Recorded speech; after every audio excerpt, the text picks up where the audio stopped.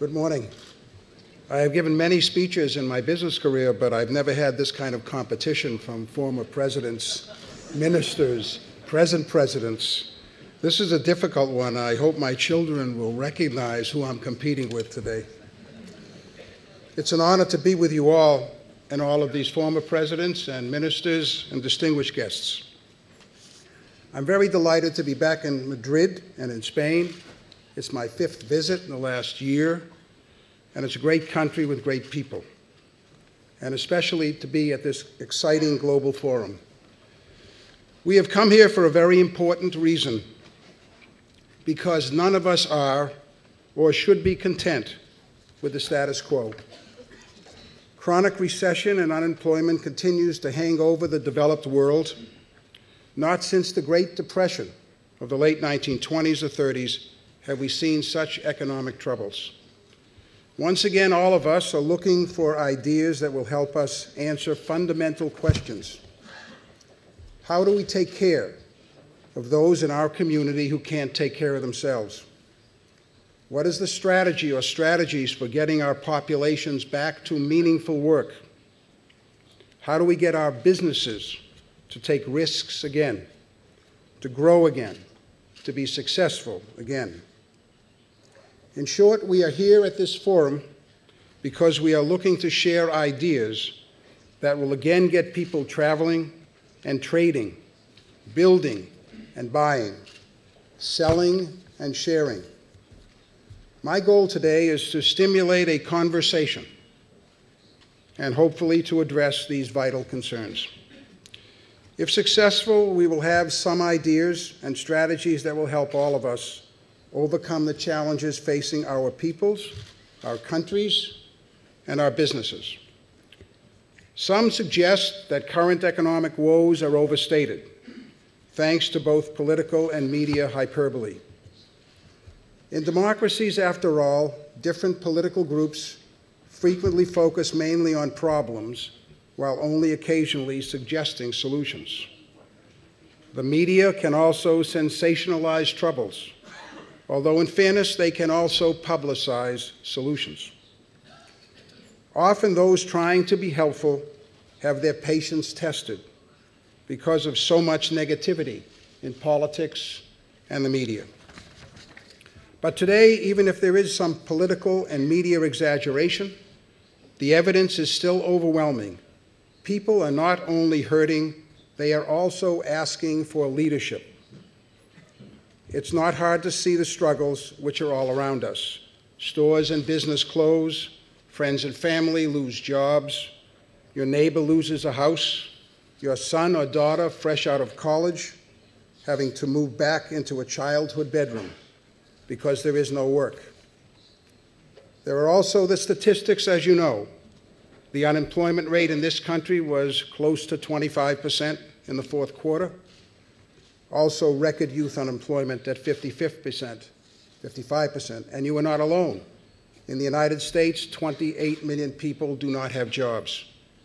50% of youth under 26 are underemployed. Experience, wrote Cervantes, is the mother of all sciences. And the experience of the 20th century, the bloodiest in our human history, taught us that demagogues and tyrants often follow on the heels of depressed economic conditions. Some of you here are old enough to have experienced the loss of freedom, the shortage of essential goods and services, and the general hopelessness of depressed friends. Trouble is again brewing with so many people on the sidelines, not participating in our society. When all of that human capital is on the sidelines, it is bad not only for those whose God given talents are being squandered, it is also bad for the total society. Because when a human being is not a productive member, when a human being is not creating and working, it is a tragedy for every one of us. And the costs are borne by all of us by family, by the community, by business, by government, and the world. In this time of global recession and joblessness, of mortgage crises and bankruptcies, our economic situation is grave. But that is not a reason for despondency, it is a reason for action. Leadership must start to fix the situation, not by just examining the underlying causes, but by also looking for a cure to our economic illness. We cannot just focus on the mountains of reasons for why it happened. The causes are, of course, complicated, involving history, economics, politics, and psychology, much of which I am surely not qualified as an expert. I don't pretend to be an economist or a political scientist or, for that matter, a futurist.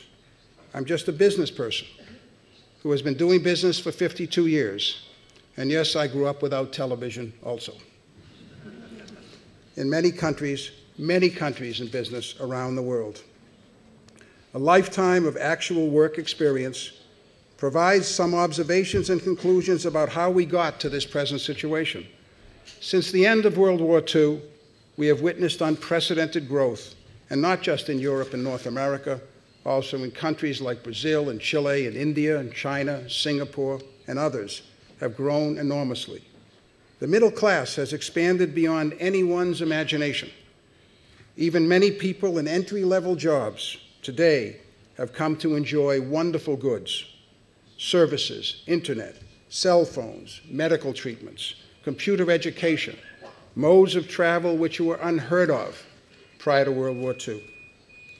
I bring these facts up not in order to diminish the real struggles and sufferings of today, but only to point out that as the middle class has grown, so too have people's expectations and desires for more and more benefits of what the modern society has to offer.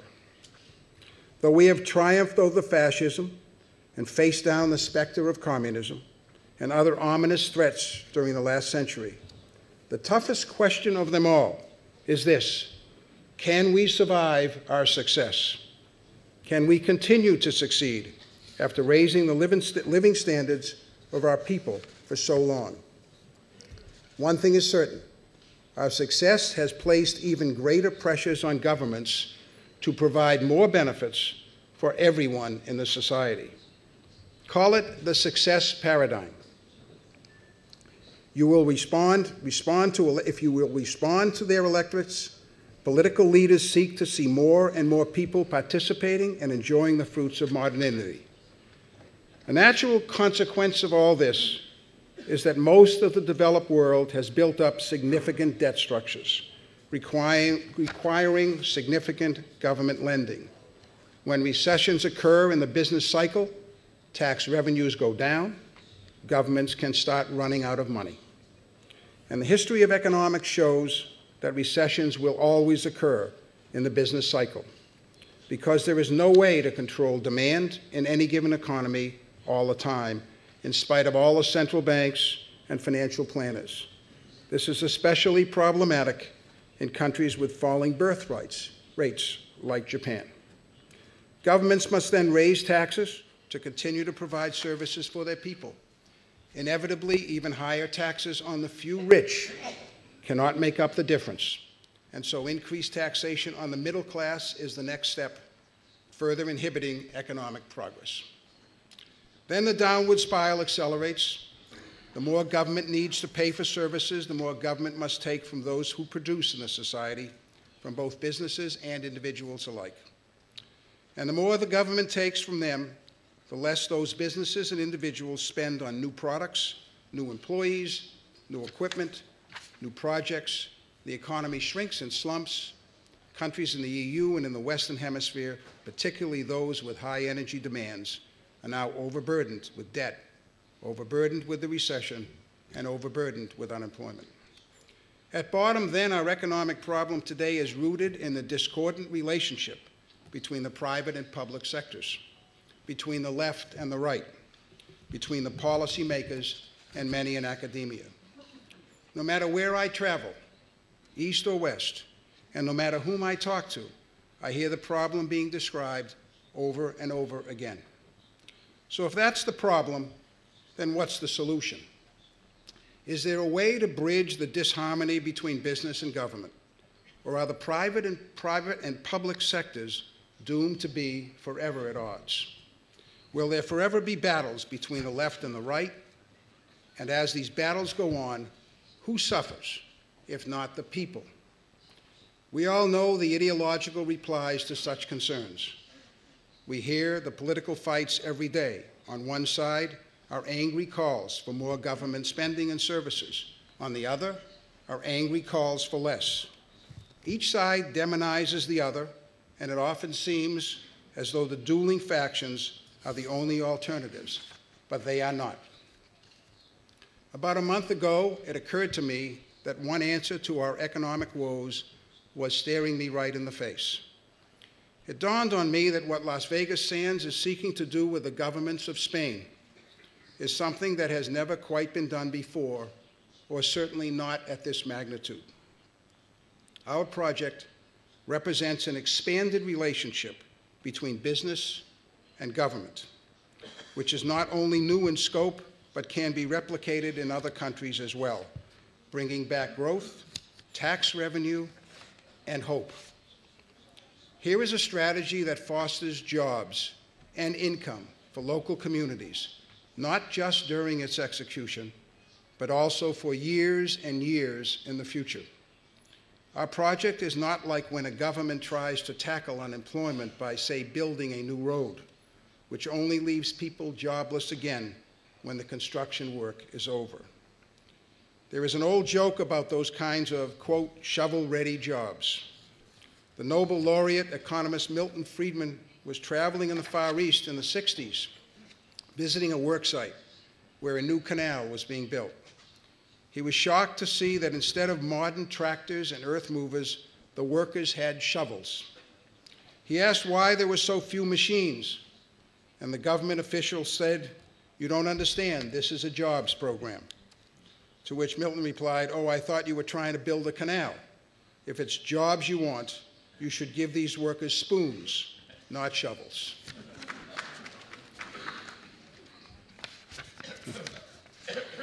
I am not talking about those kinds of jobs, not those kinds of jobs at all.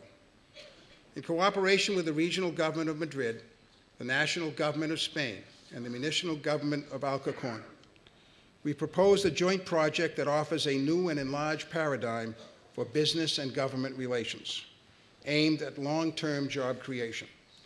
The paradigm basically says instead of governments merely taking tax dollars from business it can work with businesses to create long lasting job opportunities. And instead of businesses trying to avoid government overreach, businesses should recognize the value of helping government serve the community by creating tax revenue through increased and ongoing employment. This model, the model being used in our work with the governments of Spain, represents a plan of action in scale nothing like it has been done before. It is a prescription for dealing with the root tension underlying our society's troubled economic systems.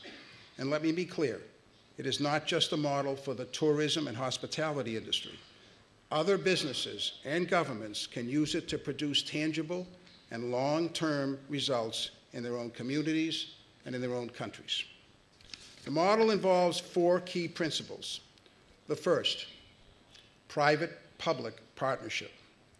The bricks and mortar of our project is an example of what can, what, of what can and will happen for Madrid and Spain as the private and public sectors partner together for the betterment of the society as a whole. In the slides on the screen, you can see a bit of our vision, uh, our vision for Madrid. Phase one will amount to $9 billion of US dollars of investment, 3.6 of our money, 40% would be from our company, and 60% of debt. It includes four very large resorts of 3,000 rooms each, totaling 12,000 rooms. Future phases, phase two and phase three, could include 24,000 more rooms and 12 to 16 more resorts. There will be world class meeting and exhibition space, over two ballrooms holding 6,000 people and 600 meeting rooms, gaming facilities, which represent only 5% of the square footage of the total project, 1 million square feet of retail, dining, entertainment, nine theaters, and other amenities such as golf courses, water parks, etc. The largest facility of its kind in Europe with contiguous hotel capacity. Recreational amenities, as I mentioned, golf, tennis, water parks are included as well. Because we provide so, so many amenities, we call our resorts integrated resorts. That is, they integrate a wide array of services and goods under one roof, offering a comprehensive guest experience for tourists, for the local market, for entertainment, for conferences, for shoppers and diners, for families and friends alike. The proposed project site in Alcorcon will be transformed Major backbone transportation and utility system improvements will be launched roads, freeways, subways, commuter rail extensions, and more. In Singapore, it took approximately 12,000 workers to build this resort that you see on the screen. 4,000 workers per shift, three shifts a day, to get this building built in the time frame of about three and a half years. Even with economies of scale, Imagine the number of construction workers required to build four such resorts in Madrid, opening all on the same day at the same time. The number could reach 40 to 50,000 con- con- construction workers. I'm told by the mayor of Alcorcon there are 4,000 construction workers available unemployed today. That will be only 10% of the amount needed for this project. Each one of these resorts will generate about 8,000 direct jobs, which includes LVS payroll alone, and there are many other third parties on the site. The multiplier effect of these direct jobs, including indirect and induced employment, is enormous and has been studied by outside consultants. And these jobs do not end when the project is built. These jobs continue ad infinitum. You ask the question who will get these jobs? We will seek the primary workforce from the region of Madrid and Spain. The range of jobs and required skill levels would be very wide, and salaries and benefits would be excellent, as they are at all of our other properties. We'll offer employment opportunities to those without high school education, those with high school education, college graduates, and candidates with advanced graduate degrees. People at every level of the society will have an opportunity to find, to find rewarding careers with us, from housekeepers to trash recyclers to cooks to accountants to salespeople to executives, general managers, and senior executives. We procure most of the services and products that we need in the local market in Spain. In Singapore, 93% of our procurement activities on an annual basis, amounting to 400 million US dollars, are sourced from local businesses alone. So the project will not only generate work for other businesses in the community, such as lawyers, human resource professionals, advertising agencies, architects, engineers, IT professionals, bankers, maintenance and operations service providers, goods suppliers, lines of business consultants, event planners, and many, many others. All of this new trade will therefore increase economic activity and generate significant tax revenue to provide those services, as I mentioned prior, to those individuals that cannot take care of themselves. Contrary to popular belief, our project will not take any business away from other existing businesses. In the case of Las Vegas and Macau and Singapore, our businesses will lift, have lifted and improved performances of all local businesses in the area. Millions of high spending new tourists will be driven to Madrid. I can make this claim confidently because our company has a track record. Two years after Marina Bay Sands opened, tourist arrivals in Singapore increased by 46%, and tourist spending increased by an astounding 80%. Our project might even help Madrid win the bid to host the 2020 Olympics, since 12,000 additional hotel rooms are necessary and we will have them built by 2018. And it will possibly also decrease the investment costs necessary for these hotel rooms and stadium space. These benefits for Spain would be impossible without the principle of private and public partnership. It could not happen without, on the one hand, a support of the government, and on the other hand, the vision and community commitment of our company's founder, Mr. Sheldon Adelson. Partnership, then, is the key to bringing about these benefits for all. Now, the second crucial principle of our business model is challenge the status quo. Cervantes wrote, To stay is no wise action when there's more reason to fear than to hope. Let me repeat To stay is no wise action when there's more reason to fear than to hope. Think about our situation today. If we stay on the present economic course, hoping for the business cycle to save us, there is certainly more to fear than to hope. The status quo is a prescription for continued failure. Critics who want to stay, who defend the status quo, allege that our tourism project in Madrid will increase prostitution, gaming addiction, and crime. Not true. In fact, the reverse is true. Prostitution, black market gambling, and crime proliferate when people are out of work and desperate, like they are today. Those are the social conditions that produce society's ills. By contrast, in every location where we have built, we have seen decreases in prostitution, decreases in gambling addiction, and decreases in crime. How come? Because our resorts provide legal work opportunities for poor and vulnerable people as well. Because we offer extensive gambling addiction programs to help those suffering from addiction, because Sheldon Adelson and his wife, Dr. Miriam Masson Adelson, are passionate about setting up free drug and, drug and abuse clinics in every location, because the crimes once associated with black market gambling have now been brought under the power of the state our critics seem to derive their conception of Las Vegas from the inaccuracies and sensationalism of Hollywood movies, along with everything else in Hollywood movies. They don't know that our resorts are highly regulated institutions which have far more to lose than to gain from breaking the law.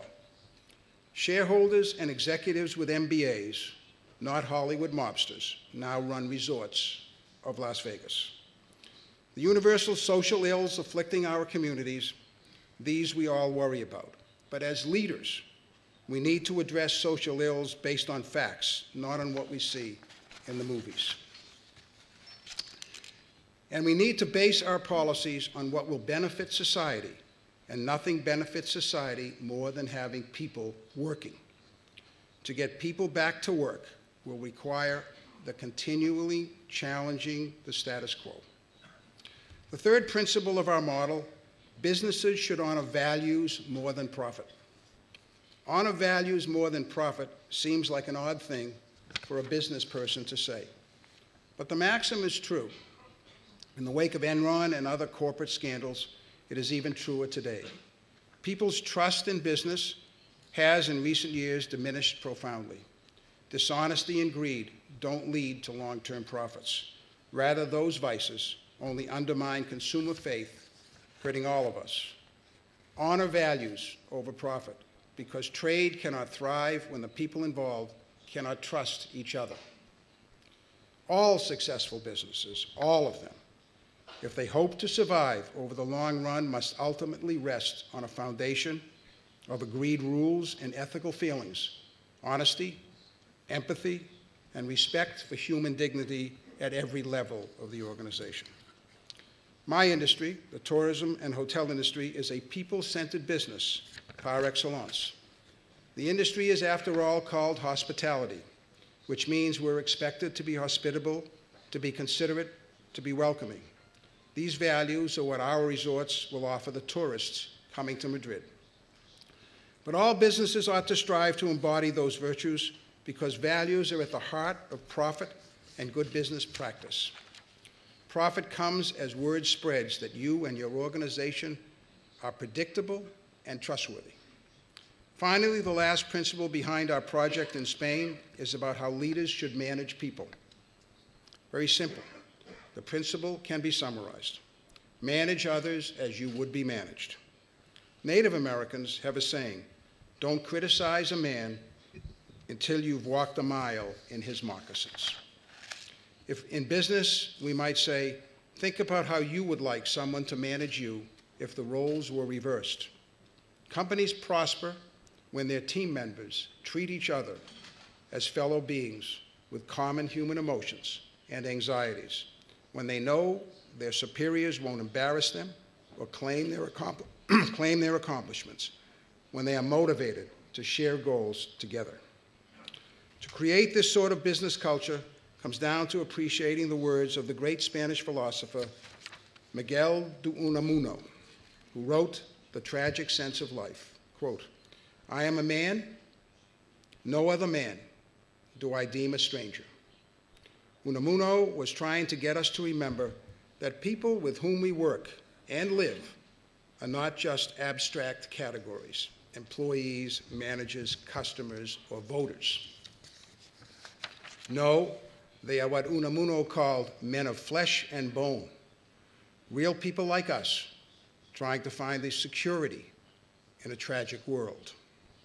This is the same lesson that was taught to me in my childhood. I grew up with my immigrant parents in a small apartment building in Boston. Sheldon Adelson, our founder, grew up about two miles from me. I like to say he was in a poorer section. My father was a traveling salesman. One grandfather sold fish, the other blue jeans. Our lives weren't rich or easy, but I learned a great deal from those immigrant parents how fragile life could be, how important work was to a person's sense of self, how people ought to have the right to enjoy the fruits of their labor. Those were good people. They didn't judge on the basis of hearsay. They weren't blinded by rank. They weren't ostentatious with achievements. Later in life, when I took on leadership roles, I realized that the lives of those immigrants and the values they lived by held important lessons for business. Manage others as you would be managed is the distillation of those lessons. It is the management philosophy that we at Sands work to see in our leadership and which you will also find at our resorts in Madrid. It is a philosophy central to a well run business, whatever the industry, and a well run society. And it is part of the prescription for today's general business woes, for it is about how we treat others in the workplace. In conclusion, these four principles seek private public partnerships, challenge the status quo, honor values over profit, manage others as you would have managed you. These four principles are behind our project in Spain, and they are a plan of action to help revive our failing economies everywhere. The unemployment rates today are hindering the cause of freedom, and they will lead to ever more social ills in our communities because an, idle's, an idle mind is the devil's playground. If we stay with the status quo, there is more to fear than to hope. Make no mistake. It is a time to be daring. And as I said to President Gonzalez when we presented our tourism plan for Madrid, regardless of what party you're in, should our product occur and be successful, you've made a decision to support a legacy project that will live for many years, offering people ongoing employment. Our partnership is not a political decision, it is a people decision, it is a human decision and it is a new paradigm for the private and public sectors. It is a model of cooperation, not competition, a model of dialogue, not monologue, a model of change, of trust, and of hope. There is an old fable about a scorpion and a frog meeting on the bank of a stream. The scorpion asked the frog to carry him across the track on his back. The frog asked, How do I know you won't sting me? The scorpion says, Because if I do, I will die too. The frog is satisfied, and they set out. But in the midstream, the scorpion stings the frog. The frog feels the onset of paralysis and starts to sink. Knowing they both will now die, he gasps, Why? Replies the scorpion, It is my nature. Far too often, leaders from the worlds of business and government have been like the frog and the scorpion, trapped in their own deadly dance, unable to overcome natural tendencies to distrust each other's motivation, to distrust each other's intentions, and natural tendencies. Our work together here in Spain just might break that mutual distrust and reveal a new and better path for forward, better path forward for government and business leaders, and forge a new way of doing business together, one based on mutual trust and cooperation for the common good. Ultimately, isn't that what leadership is actually about? I know that it is the spirit of cooperation, and I use the term deliberately, the word spirit, that will save us from the gridlock that grinds down many modern economies, that grinds down the hope of its people. And it will involve faith, because it is our faith in each other that will break that gridlock. And that spirit and faith will be on display for other leaders to see and to emulate. Faith and spirit, those aren't two words that business leaders typically throw around at meetings like this. But isn't that what every new venture is ultimately predicated on? Faith and spirit. Our work together in the coming years will, I hope, inspire those great human attributes in others and inspire the people we are blessed to serve and to lead, to believe that all of us working together can solve our toughest problems. And reverse what the famous economist and philosopher Friedrich Hayek called the road to serfdom, leading us back to the path of prosperity and freedom for all people. Thank you very much.